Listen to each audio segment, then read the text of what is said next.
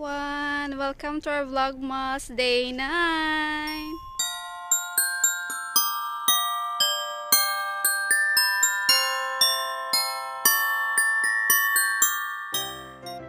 Oh, hi! Oh, good morning everyone! So, this is Miguel's breakfast and this is Papa Ryan's breakfast also. So, since today is Wednesday, so I am preparing bento for Miguel. So, this one, the fried rice yung nilagay ko. Uh, bread, grapes, yung chicken nuggets, at saka yung hotdog na finorm ko ng flour, at saka milk. So, yun yung bento niya for today. Nakita nyo guys, is di, di pa talaga ako nag uh, nakakaayos o di pa ako nakasuklay. Uh, medyo, alam niyo ba guys, ma-share ko sa inyo, medyo kabado ako ngayon. Hindi ako mapakali kasi si Miguel. Yung anos, yung anos sa yung labasan ng ano natin is mapula-pula siya. Mapula-pula. After nung pagka, pagbawas niya, nagreklamo na siya kasi medyo masakit daw. Siguro, I don't know kung masakit ba or... Kirot ba o yung... Ah, Makati. Yung Makati. Hindi ko alam kung Makati ba or uh, masakit yung feeling niya kasi yung minsan si Miguel is ano siya parang over overreact ba minsan. Pero kagabi nilagyan ko ng ano ng BB oil. Okay naman, nakatulong naman siya. Pero kanina pag pag ano niya, chinek ko. Tapos nilagyan ko tapos nilagyan ko rin ng ano ng BB oil. Yun, nag nag-trigger siya na nag-ano na, na umiyak na kasi ano ma daw, mahapdi, uh, ma, mahapdi daw or masakit. I don't know, masakit ba or makati. So yun, bina, ko ng mainit na tubig. Tapos nilagyan ko ng lotion. And di ko sana pa papasukin guys sa UCN, sa kindergarten. Lumabas lang ako guys.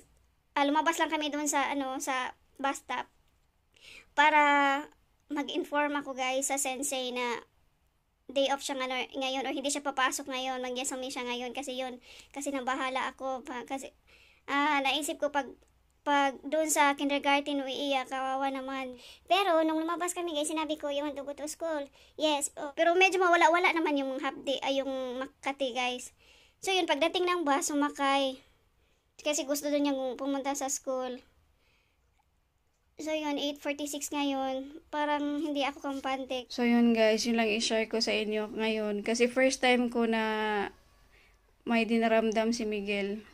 Uh, papunta Dito ako sa labas guys. As usual, naghihintay na naman kay Miguel. And uh, medyo still kabado pa rin ako guys and uh, mamaya pala guys is ano i-share ko bumili kasi ako ng uh,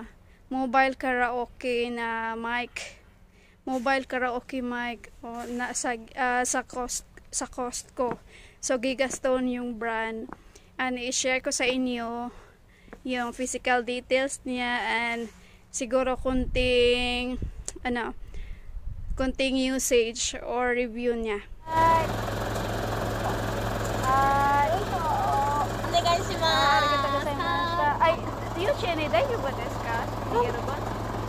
楽しそうにしてますすごい楽しそうにしてて私あの年少さんの担任じゃないんですけど私があのバスとかで行くと「先生」とか楽しそう How's your school na? No more itay in the, uh, no more kayo in the ashi? Ha? Sabi nung assistant teacher guys, yung naghahatid is, hindi naman daw, ano, wala naman daw problema si Miguel. Tanong siya, nag enjoy nga daw sa practice nila sa Christmas. Happy. Uh, nani ka na? Wow!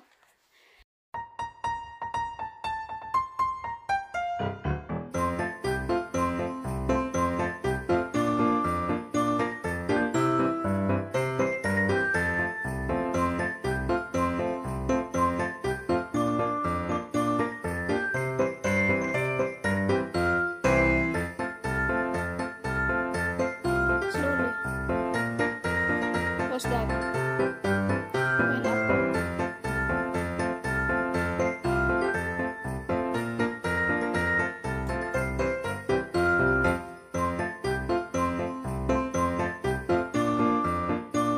Okay guys, so chinek ko yung mga ay yung bag niya, wala namang letter guys. Uh, wala namang letter na nagre-report kung ano may nangyari ba kay Miguel doon or mga uh, kakaibang ninaramdam si Miguel. Wala namang report. Naman sa asawa ko. So siguro okay lang siguro talaga si Miguel doon sa school kan. Ito tuloy ko guys yung sharing ko about kanina yung umuwi yung husband ko. Ano, ah sabi ko sa kanya, hindi ako mapakali kasi yung ang isip ko na, na kay Miguel lang kasi baka ano yung nangyayari sa kanya sa school, baka umiiyak, baka pag ah, kapag nang, nangangati na yung ano, yung pwed, baka umiiyak, tapos dalawa lang yung sensei, baka hindi maasikaso.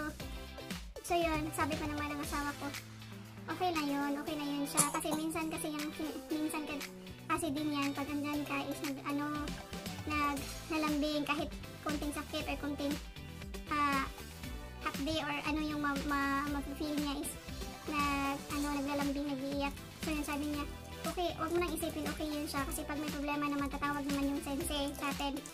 So yun so, sabi ko oo oo, ano, oo, okay oo din.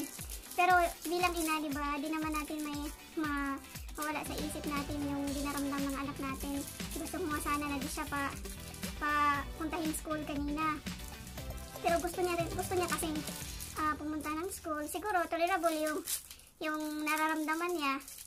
So yun, sabi pa naman ng asawa ko na ma- ah, mabuti at pum- pumasok siya sa school para maging independent naman siya doon.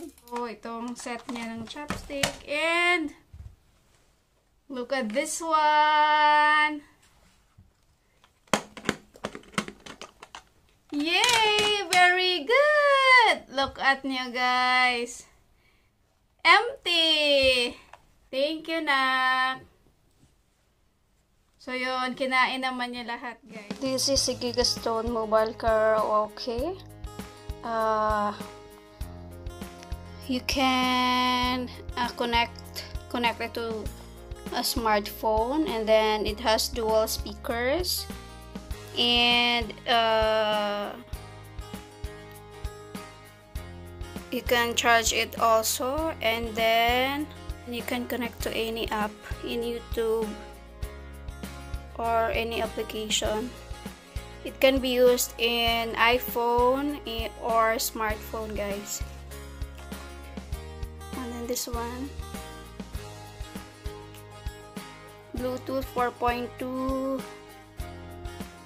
it has 2200 milliamperes and then this is made in Japan